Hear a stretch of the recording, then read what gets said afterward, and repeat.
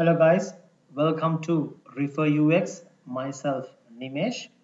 Today we will talk about monoalphabetic substitution cipher. Monoalphabetic substitution cipher is also known as a simple substitution cipher which relies on a fixed replacement structure. That means the substitution is fixed for each letter of the alphabet. Hence, if letter A is encrypted to letter R, then every time we see the letter A in the plain text, we replace it with the letter R in the ciphertext. In this video guide, we use this ciphertext which is being derived from an English plain text using a monoalphabetic substitution cipher.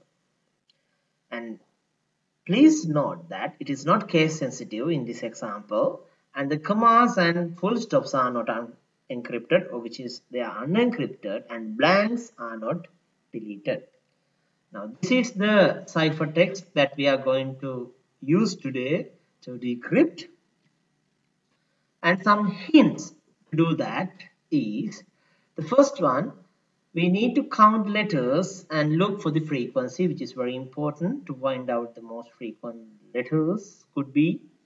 Then we can try for short words like one letter words two letter words three letters and four letters which are very common in English language and also we can look for structures for example words that appear very often to get some idea on what could possibly be the decryption so let's begin. First of all, let's use this online frequency analyzer to get the letter frequency distribution of this ciphertext. So we'll get this, uh, first we'll uh, get this in copy and I'll go to this frequency analyzer. Then I'll paste it and I will record the input. Then I'll see the bar chart and then export the counts.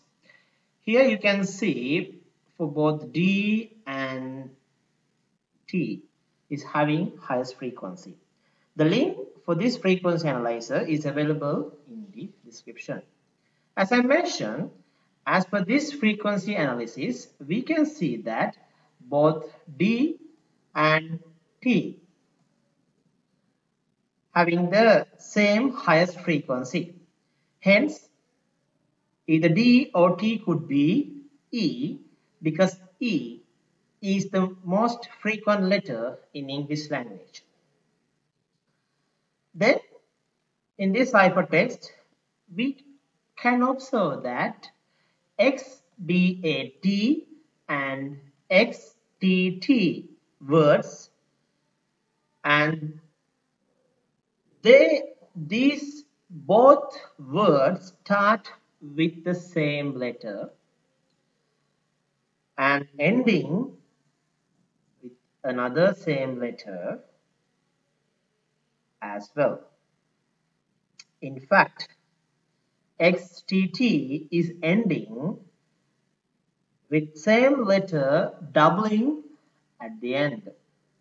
In English language, there are few commonly used three-letter words ending with same letter doubling at the end. For example, all, A double L, two, T double O, and SC, S double E. But T can't be either L or O because in English language it's rare that a four letter word ending with letter L or O. Hence, T could, uh, could be E at a very high probability. Hence, let's replace T with E. To do that, I take find and replace option in Microsoft PowerPoint and I click on the match case option because I will replace the decrypted letters in capital. In this case, simple T is being replaced by capital E. Let's give a shot. That all T's has have been changed to E. Now we get a three letter word X double E. In English language, the common three letter word ending with two E's could be C. Hence, X could be S. Now let's replace X with S to give a shot. And I replace simple X with capital S. And I replace and we can now see a complete word C. And also we have another four letter word starting with S and ending with E. S-D-A-E. In English language, the most common four letter word that follows this pattern is sun. Hence, D could possibly be capital O or O and A could possibly be M. Now let's replace them and give a shot. I'll replace simple D with capital O or simply O. I replace simple A with M. Now we have uh, a complete word sum and also C. Then we have another two letter word that is ZO which is ending with capital which is ending with O. And that could possibly be 2 because this follows the verb or rather stem C. Hence, this could be a 2 infinitive pattern. Hence, T, this could be possibly O, uh, 2, hence Z could possibly be T. Now, let's change that as well and see what happens. So I replace Z with T and I. Then we have a three letter word that starts with T and ending with E. And in English language, that could possibly be the because that is one of the very frequently used three letter word in English language. Hence, K could possibly be H. Now, let me change that as well. Now we have a four letter word starting with T and ending with ME. And the common word for in that in English language is time. Most, most probably it could be time. Hence, this dollar mark is possibly B. Now let me give a try. I'll replace dollar sign I and I read now so far I can see some completed words and also some ideas of some words then we have a four letter word ending with ITH. Now, the most common four-letter word follows this pattern in English language. Could be with. Hence, you could be W. Now, let me change that as well. Now, change with W and with cool. Now, we have a three-letter word starting with starting with W and ending with S. Now, in English language, this could possibly be was. Hence, G could possibly be A. Now, let me change G with A. It was. And early, this single letter word also was there, G, and that is also another good hint because in English language, the single letter word that we use is a. Then we have a nine letter word, a nine letter word, which is this one. We have one, two, three, four, five, six, seven, eight, nine. And by looking at that, we can read this as somewhere. It's obvious. And this curly bracket could be or definitely be R because it should be somewhere. Hence, let me change that as well. R. Okay. Then we have a six letter word and by looking at by looking at this also we can read it as switch. It is obvious.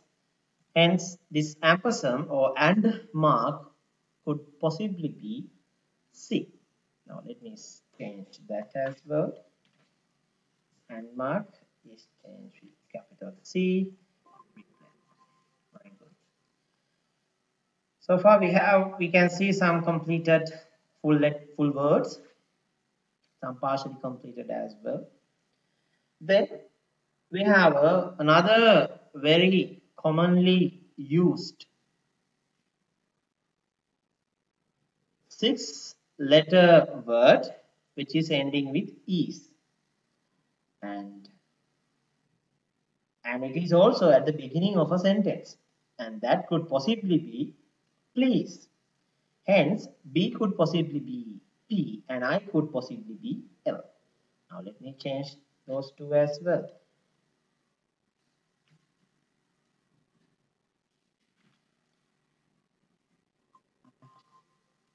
I,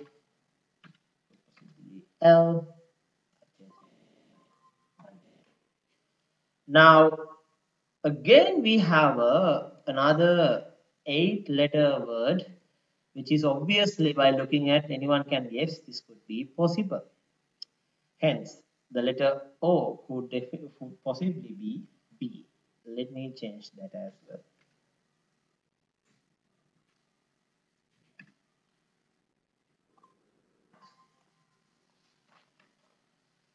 After that, we have another two letter word which is ending with uh, T, with ending with O. An English language which is ending with O having two letters and commonly used words are either to or do. Now, to is already been taken, hence this could possibly be do. Hence, D could be, Q could be D. Let me change that. You can see that it was possible to do it, which is having a meaning as well.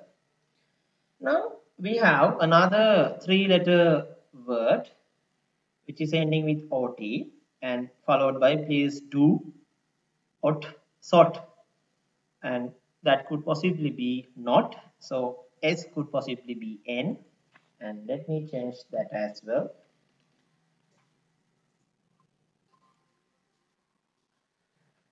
Now we have another six letter word at the very beginning. And by looking at that also some anyone can guess it as human. And the letter Y could definitely be U. The high chance and also we have here a two letter word which is starting with I. And in English language the commonly used two letter words starting with I is either in or it or if. Since it and uh,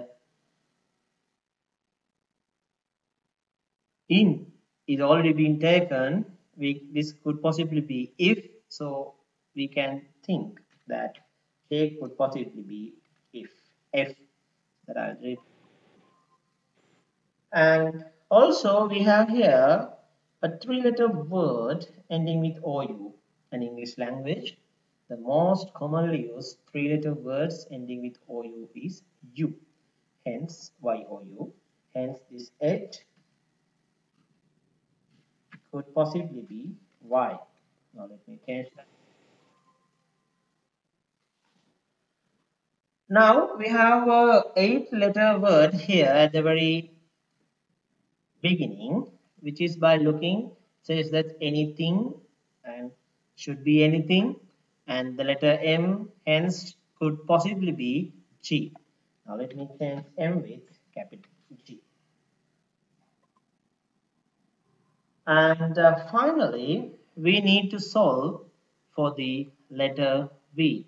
Now let me take H-A-V-E. Now by looking that, looking at that, we can easily guess that this could be have and the letter V could definitely be V itself.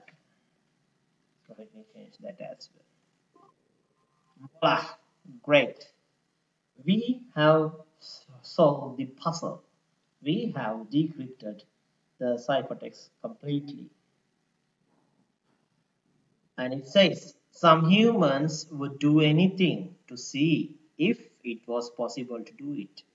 If you put a large switch in, a, in some cave somewhere with a sign on it saying end of the world switch, please do not touch.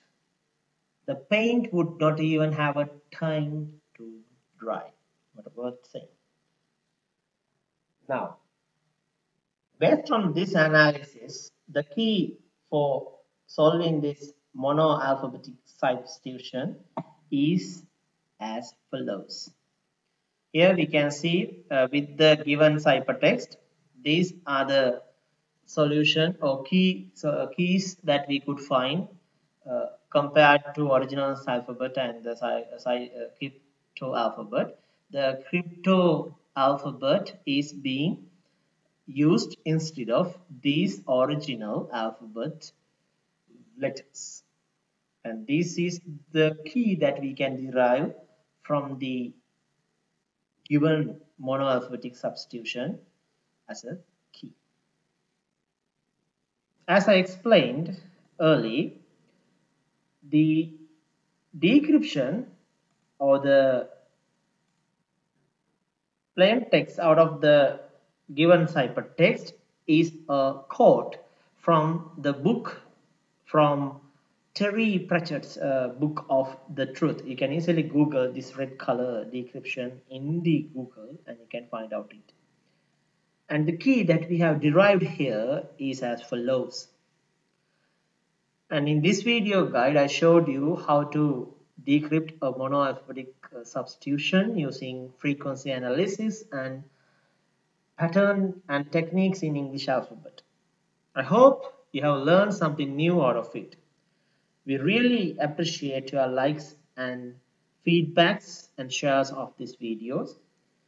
And if you want to know future such videos quickly, please do subscribe to us. Until we meet again, have a great time.